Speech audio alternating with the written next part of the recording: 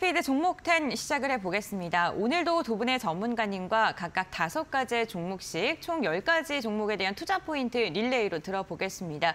종목명이 먼저 공개가 될 텐데요. 종목명 보시면서 궁금한 게 있으신 시청자분들께서는 샵 3772번으로 문자 문의 주시거나 유튜브 실시간 채팅창에 댓글 남겨주시길 바랍니다. 저희가 생방송 중에서 가격 전략까지 자세하게 알려드리겠습니다.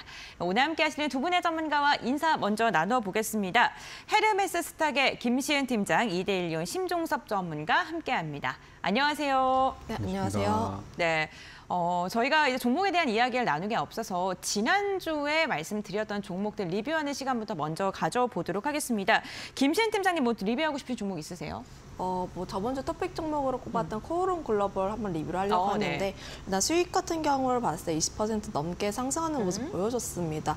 네. 네. 근데 이 기업 같은 경우에 지금 투자가 조금 열풍이 좀 돌다 보니까 아직 지금 좀 수익이 나셨으면은 지금 좀 정리를 하시는 편을 좀 추천드려보도록 하겠고 일단 목표가 달성하신 부분들 같은 경우에 좀 축하드린다는 말씀 드리도록 하겠습니다. 네옴시티 관련 종목군들 봤을 때 어, 일단 이번 주 목요일에 뭐 빅 이벤트가 있긴 하지만 아직까지는 좀 주의할 필요가 있겠다는 점 한번 말씀드리겠습니다. 네, 알겠습니다. 코오롱 글로벌에 대해서 한번 들어봤고 그럼 이번에 심정수 전문가님 것도 한번 들어볼게요. 지난주 LG그룹주들 막 소개해 주셨잖아요. 예, LG 네. 그룹주는 잘 갔는데요. 네. 뭐 LG전자나 LG화학이나 전부 다 8%에서 9% 정도 음. 수익을 좀 거뒀는데 네. 제가 토픽으로 저 해- 해드린 호난 테크놀로지는 어, 의외로 좀 눌림목이 좀 강했습니다. 어, 그래서 어, 아직까지는 그 갭 상승 이후에 2만 원대를 지금 지키고 있기 때문에 음. 아직은 손절 구간은 아니고 네. 계속적으로 보유하시면 조만간에 다시 한번 상승하는 추세를 좀 보일 것으로 그렇게 예상하고 있습니다.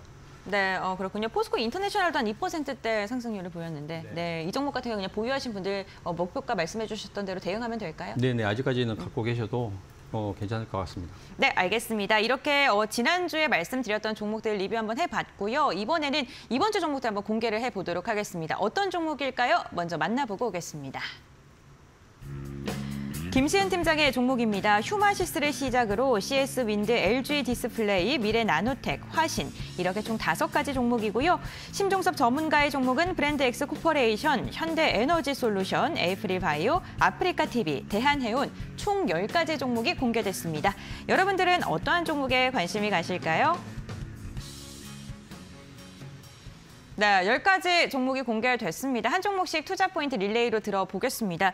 먼저 김시은 팀장님, 휴마시스 아, 코로나 확진자 수 다시 증가하더라고요. 네, 뭐 맞습니다. 일단 그 부분에 대해서도 있었는데 저번 주에도 좀 소개를 드렸던 맞아요. 종목이에요. 어, 그런데 좀 업데이트된 내용이 있어서 오. 좀 추가적으로 좀 말씀드리고 싶어서 가지고 왔습니다. 네. 일단 뭐 어제 공시를 보게 됐을 때 그 개인주주 연대가 이제 회사를 상대로 소송 냈습니다. 음. 어, 경영권 분쟁 소송을 낸다는 이슈도 나왔기도 했고요. 기사를 봤을 때 뭐 회사 측에서 바- 는 이제 경영권 분쟁 때문에 회사 경영에 좀 어려움을 겪고 있다고 이야기를 했는데 사실 어떻게 보면 주주 입장에서는 투자자들을 탓하는 것으로 보여질 수가 있다 보니까 앞으로 이 같은 뭐 분쟁에 대해서는 더, 더 더욱 더 심화될 것을 보고 있는 게 아무래도 뭐 우리나라 같은 경우에는 회사가 굉장히 성장을 많이 하고 돈을 많이 벌었어도 주주한테 이익이 가는 경우는 그렇게 많지는 않습니다. 뭐 사실 미국 같은 경우를 보게 됐을 때 뭐 배당이라든지 굉장히 잘 돼 있지만 우리나라 같은 경우는 좀 그렇지 않다는 점. 그런데 일단 기업 자체가 코로나 특수로 인해서 매출이 정말 굉장히 많이 늘어났고 성장을 많이 했었는데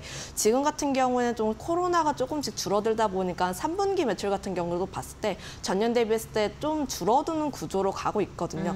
그런데 그런 부분을 보다 보니까 회사의 성장에 대한 둔화 움직임이 나타나고 있다 보니까 사실 주주 입장들 보게 됐을 때 뭐 전문 경영진을 둔다든지 아니면 회사의 성장을 위한 방향성으로 나아갈 수가 있다 보니까 관련해서 움직임은 계속적으로 나올 수밖에 없다. 특히 지분 경쟁 공시가 어떻게 나오는지에 따라서 좀 타격이 있을 수 있기 때문에 관련 부분에서 지속적인 체크 필요하다는 말씀드리겠고 사실 뭐 주의 딱지가 좀 붙었습니다. 종가 했을 때 그좀 땡. 주의할 알겠습니다. 휴마시스 어, 추가로 투자 포인트 한번 들어봤습니다. 지난 주과 함께 연동해서 뭐 투자 전략 세우시는 데 도움이 되시길 바라겠습니다. 어, 다음으로는 심종수 전문가님의 종목 브랜드엑스 코퍼레이션인데요. 어, 이 종목 같은 경우에는 뭐 자사주도 소각하고 네, 열심히 네. 활동 중이더라고요. 네, 이 종목 투자 포인트 한번 들어볼까요? 어, 우선은 뭐 최근에 뭐 자사주 소각부터 네. 시작해서 주주 어, 환원 제고 가치를 네. 위해서 여러 가지로 활동하고 있는 걸로 보이고 있습니다.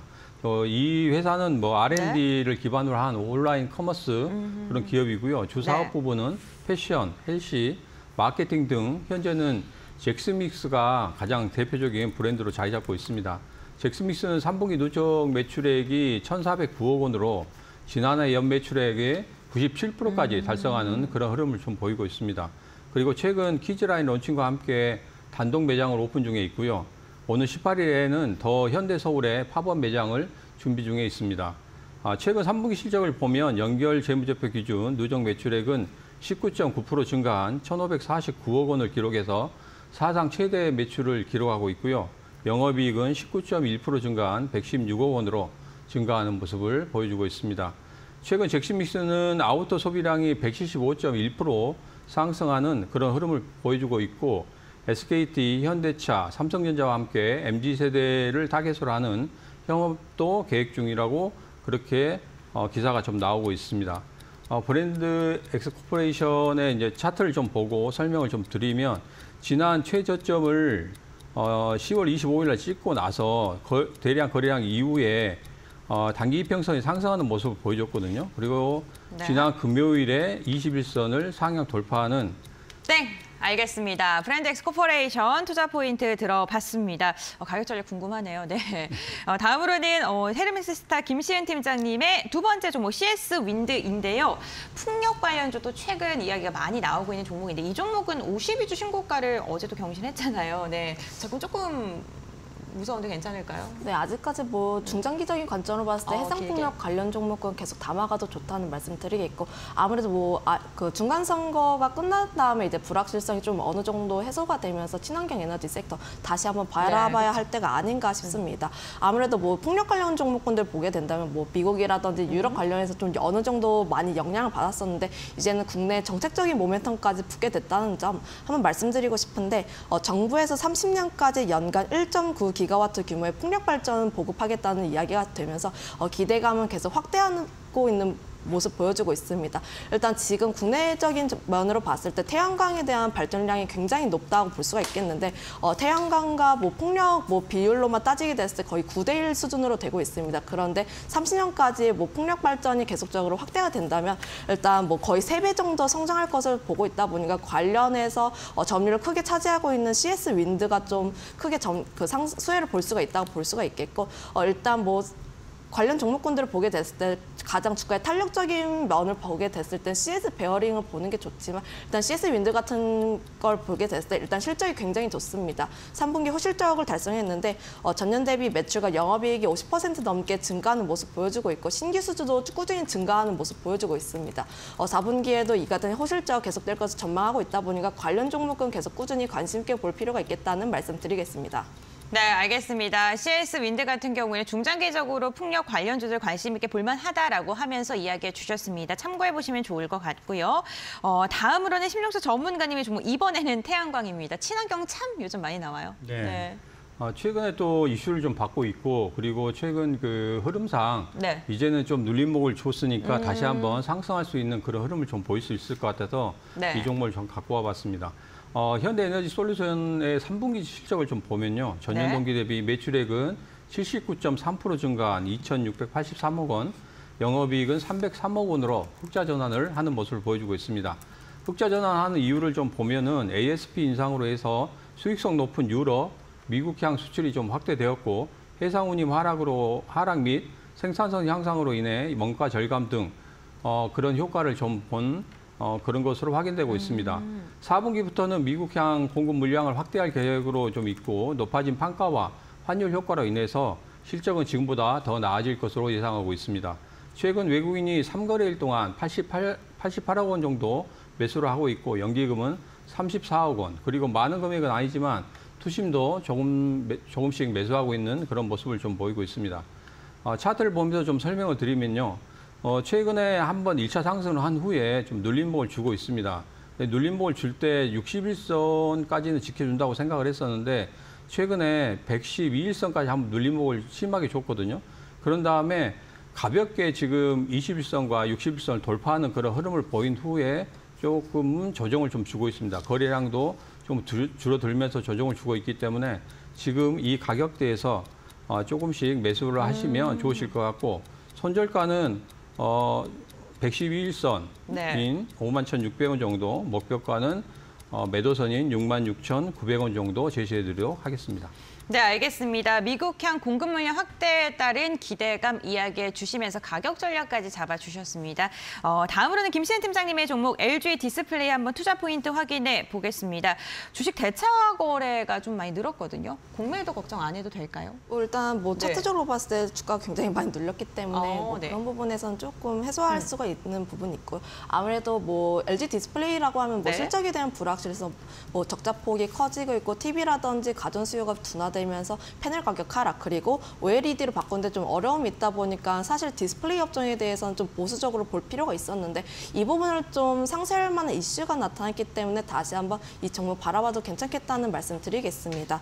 일단 뭐 미국에서 중국 디스플레이에 대한 제재 움직임이 나타나고 있는데 아무래도 중국을 압박을 하기 위해서 뭐 반도체에 이어서 디스플레이 업종까지 좀 중국에 대한 의존도를 줄여야 한다는 압박이 계속적으로 나오고 있다 보니까 관련해서 움직임이 나올 것으로 보고 있고요. 아무래도 미국 IT 업계 같은 경우에는 뭐 중국 디스플레이 업종에 대한 의존도가 꽤 상당히 높은 편이다 보니까 강력하게 추진될 것으로 좀 예상이 되고 있습니다. 그렇게 되면 한국 디스플레이 업체가 그에 따라서 반사 수혜를 얻을 가능성이 굉장히 높다라고 말씀을 드려보도록 하겠고 특히 중국이 디스플레이 업종 시장을 좀 독점을 하고 있는데 어, 만약 중국이 이제 미국으로 인해서 좀 변수가 생기게 된다면 일단 뭐 국내 기업이 LCD에서 OLED로 바꾸는데 시간이 좀 필요했던 부분을 좀 어느 정도 상쇄할 수 있는 부분이 있지 않을까라고 기대를 해보고 있고요. 이번에 뭐 저번 주 같은 경우에 또 이제 신제품이 출시를 하면서 좀 주목을 많이 받았었는데 관련해서도 기대감 계속적으로 나오고 있습니다. 뭐 상용화에 대한 기대감 계속적으로 꾸준히 나오고 있다 보니까 관련 부분에 대한 기대감 나오고 있고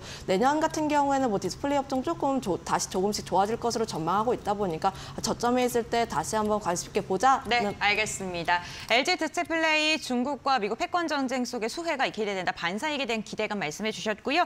다음으로는 심종순 전문가님의 종목 확인해 보겠습니다. 세 번째 종목 어떤 종목이죠? 세 번째 종목은 에이프릴 바이오고요. 네. 최근에 이제 신규로 상장한 종목이어서 최근에 좀 올라가고 있는 그런 모습을 좀 보면서 어, 차트상 좀 좋은 종목이기 때문에 좀 소개해 드리려고 갖고 왔습니다.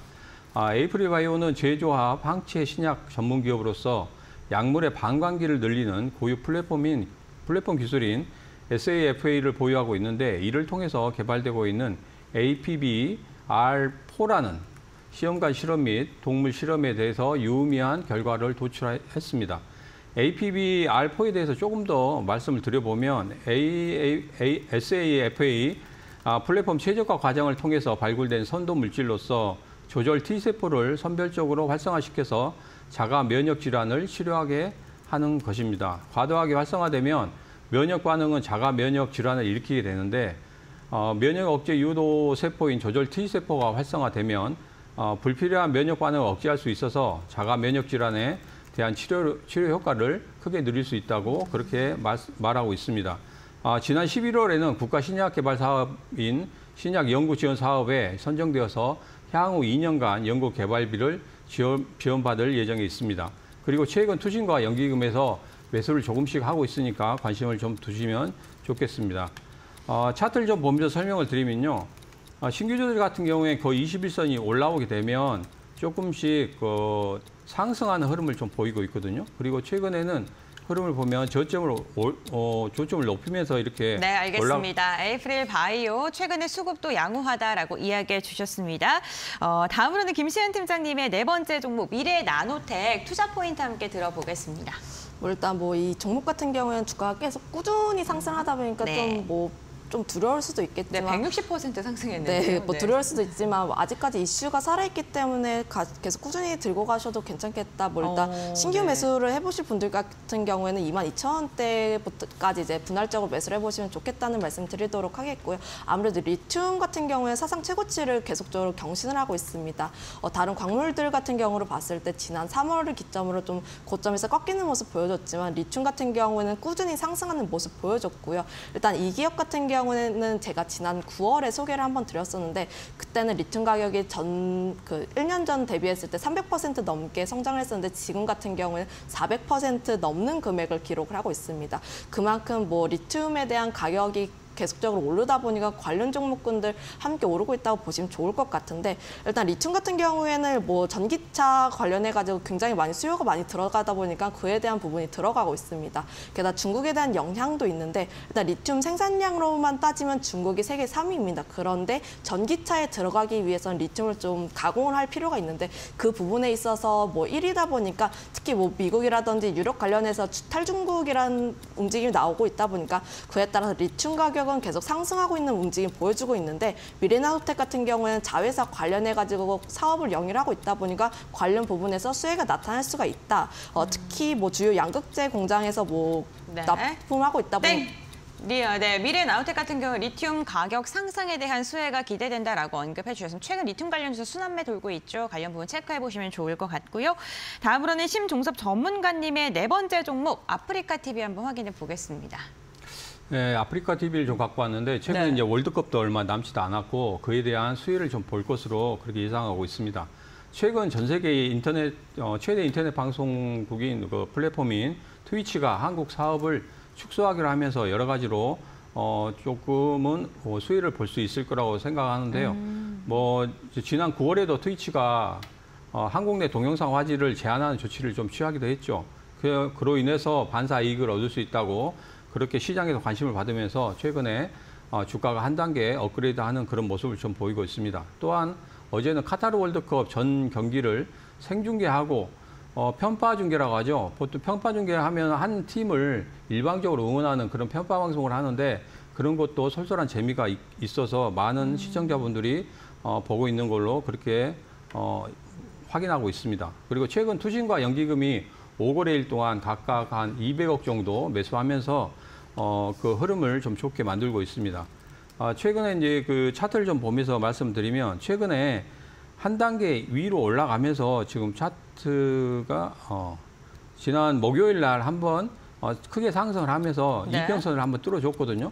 그런 다음에 매도선 위쪽으로 올라오면서 224선을 돌파하기 위한 그런 눌림목을 좀 주고 있습니다. 이럴 때 좀 매수를 하셔가지고 접근하시면 좋으실 것 같고 손절가는 92,400원 정도 제시해드리고 목표가는 한 11만 원 정도 어, 보시고 들어가시면 될 것 같습니다. 네, 알겠습니다. 아프리카 TV 한번 확인해 봤고요. 다음으로는 김수현 팀장님의 마지막 종목 한번 살펴보겠습니다. 화신 맞죠? 네.